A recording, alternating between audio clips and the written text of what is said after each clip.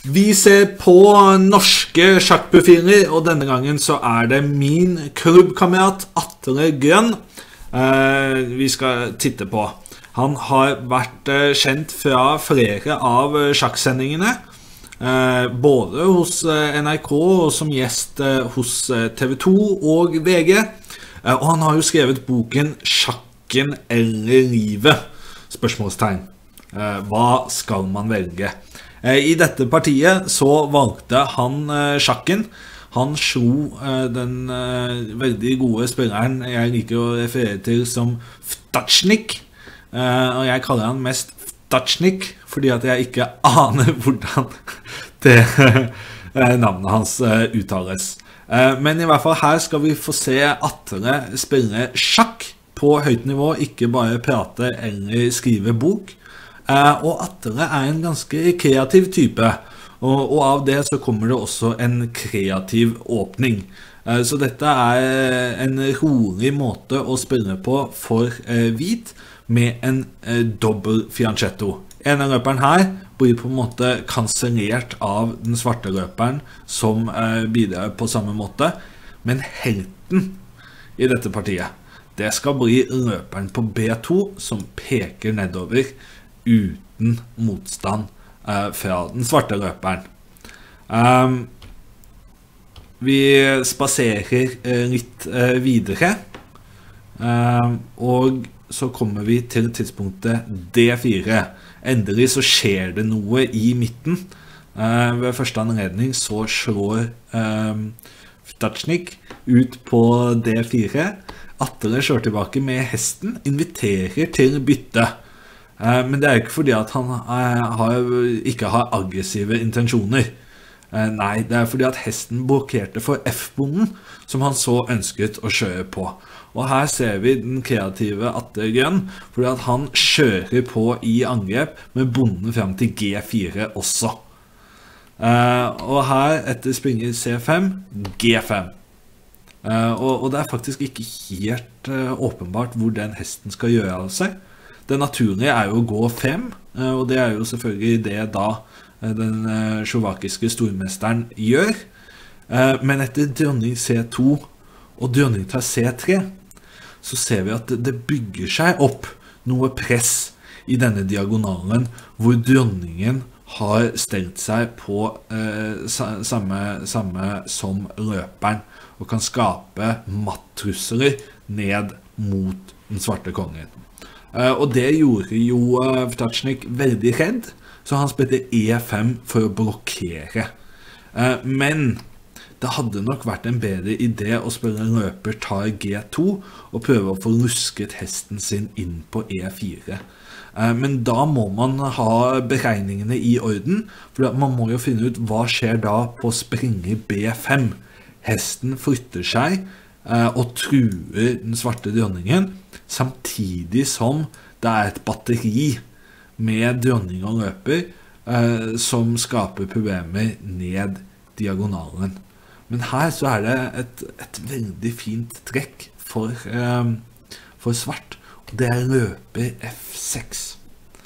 Eh, og det kan ha vært eh, det stormesteren eh, eh, ikke så. Eh, og dette er faktisk en veldig fiffig måte å blokkere på. Fordi at her nå, hvis man slår ut den løperen, så kan man eh, svart slå ut eh, hesten på eh, B5. Og hvis nå bonden slår videre på G7 og truer tårnet, så er det bare å flytte tårnet. Og dette er fiffig, fordi at hadde det vært en svart bonde her på G7, så ville jo dronningen kunne slå ut den svarte bonden og setter sjakkmatt. Men det faktum at det er en hvit bonde, en hvit bonde som ikke kommer seg fremover, som ikke får flyttet seg ut av veien, eh, det gjør at angrepet til hvit eh, ødelegges av sin egen bonde, eh, fordi den står i veien. Og at dronningen ikke klarer å komme seg inn bak og sette den svarte kongen sjakk. Eh, Så det hadde vært en veldig fiffig forsvarsmanøver, men den så han ikke. Og etter E5 så kommer springer F5. Og det var Kasparov som sa at hvis jeg får passert hesten min på F5, der den står faretunet nære eh, den eh, rokerte kongen, da er det trøbbel. Og det stemte her også for, for Grønn. Eh, han skapte trøbbel for sin motstander med hesten på F5. Etter F6 her, et forsøk på å åpne litt opp, så kommer rolig tårn D1, og deretter dronning D2. Så veldig rolig spilt av Atle her. Man hadde jo masse muligheter til avbytter. Eh, men med den flotte diagonalen så, så, sier han at nei, nei, bare bytte av du. Eh, fordi at her, ikke sant Hvis uh, svart spiller uh, bonde sjøl G5, så sier man 'velkommen skal du være'. Da slår jeg på E5, og så får jeg åpnet opp diagonalen nedover mot kongen. Eh, og det ønsker jo hvit. Så denne på en måte blokaden med bøndene, eh, den fører svart at må bli stående. Eh, og hvit synes det er helt greit å beholde det presset og, og avvente hvem det er som skal rette på trykket. Han kommer med dronning D2, som skaper trusler ned mot bonden på D6. Og den bonden er ikke enkel å forsvare. Det er faktisk så ille at eh, Ptatsjnik bare flyttet kongen ut av fare, trodde han kanskje. Uh, men der tok han uh, sannelig feil. så Atle slår ut på E7, tar tilbake. Dronningen tar på D6. Hvit har vunnet en bonde, men den hvite kongen er jo litt luftig. svart prøver å påpeke det ved å gi en sjakk. Eh, dronningen blokkerer, og så dronning C8. Og Her ser vi planen til Svart. Han har tenkt å komme opp og skape uro rundt eh, hvits eh, kongestilling. Eh, Atle lar seg ikke påvirke av det. Han er nå klar for å lette på trykket og for å skape en sjakkmatt i diagonalen. Så ta, ta, ta på E5. Hvis nå svart tar tilbake, så blir det veldig fort sjakkmatt. Slå, slå, og her ser vi den perfekte matten i hjørnet med dronningen som tar den ene diagonalen og det ene feltet, og løperen som tar de to andre feltene. Og det blir matt. Eh, men svart sin plan var en annen. Dronning G4 og så tårn D8. Og det er jo fiffig spilt. Eh, fordi at eh, her, hvis man flytter dronningen, så er det jo en trussel mot tårnet, hvor både Svarts dronning og Svarts tårn truer på D1.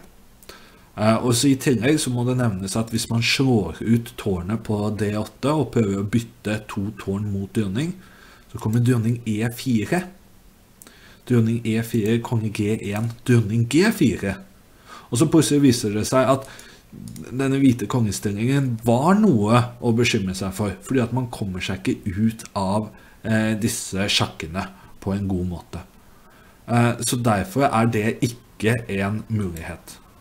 Spørsmålet da, hva gjør man? Jo, Atle visste råd. Han spilte E tar F6. Og Det store poenget her er jo selvfølgelig at hvis dronningen nå blir slått, så får vi det samme motivet med løperen som dekker disse to svarte feltene men så er det da, istedenfor en dronning på D5, så er det en bonde som gjør det avgjørende støtet og tar fra kongen det siste fluktfeltet. Men bonde eller dronning det er like effektivt. Så lenge G8-feltet er dekket, så blir dette trøbbel for svart. Så da må man lufte. Man må gi kongen et felt å rømme til. Svart spilte H5. Og man har jo fortsatt dette problemet med eh, dronningen og det tårnet som står bak. Eh, så her er det kun ett trekk som redder dagen, men det hadde nok Atterøy sett fra før av. Han spilte tårn D4, ignorerer trusselen mot hvitstråning og sier istedenfor at 'jeg truer eh, svartstråning'. Eh, og eh, hvis vi da teller bønder og ser hva som har skjedd i slagvekslingen, Eh, så, så, kan man jo plutselig legge merke til at én, to, tre bønder mer har hvit. Eh, så dette er alvorlig trøbbel. Svart prøver seg på en eh, siste liten ting. Tårn tar dronning, tårn tar dronning. Og hvis man nå slår tilbake tårnet, så slår hvit ut tårnet på D5. Så det hjelper jo ikke. Så løs, forsøket på løsning er tårn D2.